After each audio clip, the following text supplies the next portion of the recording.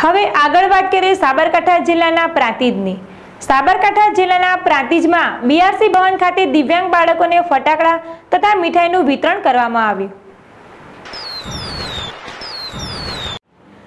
Prantij railway station વિસ્તારમાં આવેલ BRC ભવન ખાતે દિવાળીના તહેવારને લઈને દિવ્યાંગ બાળકોને ફટાકડા તથા મીઠાઈનું વિતરણ કરવામાં આવ્યું હતું. આ પ્રસંગે પ્રાંતિજના મહંત શ્રી સુનિલદાસજી, બીઆરસી જિગ્નેશભાઈ પટેલ અને આ આઈડી સ્ટાફ સહિત વાલીઓ ઉપસ્થિત રહ્યા હતા. તો બાળકોને ફટાકડા તથા મીઠાઈ અને નોટબુક મળવા તેઓના ચહેરા ઉપર સ્મિત જોવા મળી હતી. સંજય રાવલ જેડેશ ટીવી પ્રાંતિજ